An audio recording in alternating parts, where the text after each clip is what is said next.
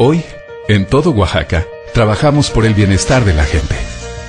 En solo tres años, entregamos gratuitamente casi 6 millones de juegos y uniformes y más de 1.300.000 paquetes de útiles escolares a las y los niños de educación básica. Con ello, miles de familias lograron un ahorro en la economía de sus hogares. Gobierno del Estado de Oaxaca. Generando bienestar.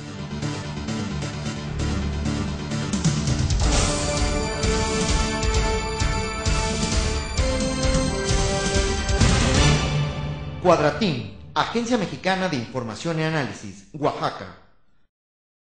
Padres de familia de 25 escuelas públicas en Tlacolula reanudaron este jueves el bloqueo en la carretera 190 que comunica con el Istmo para exigir el inicio de clases.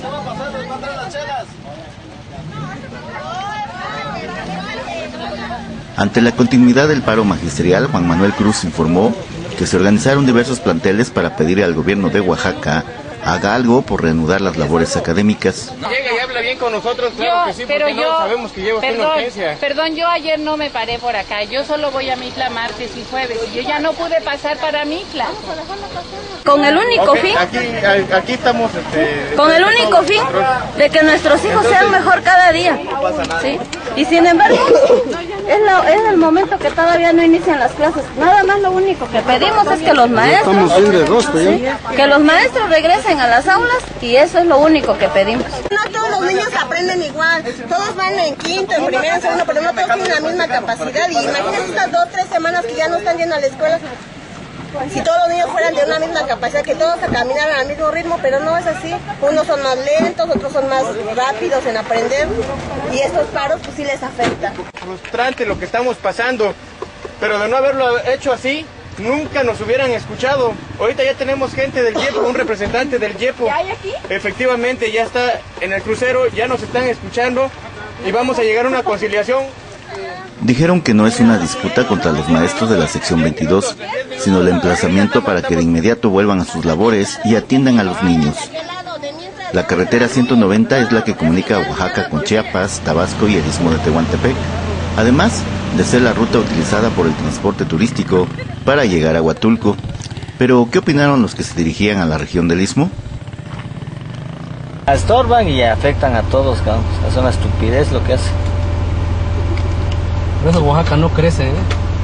La Oaxaca está muy por abajo de todo, por lo mismo.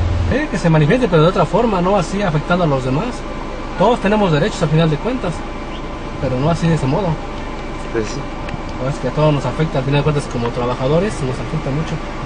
Por la tarde, el coordinador del módulo de desarrollo social en Tlacolula, Primo Aquino, informó que el bloqueo de los padres de familia se retiró después de acordar emplazar de manera conjunta a los profesores de la sección 22 a retornar a las aulas el próximo lunes 2 de septiembre.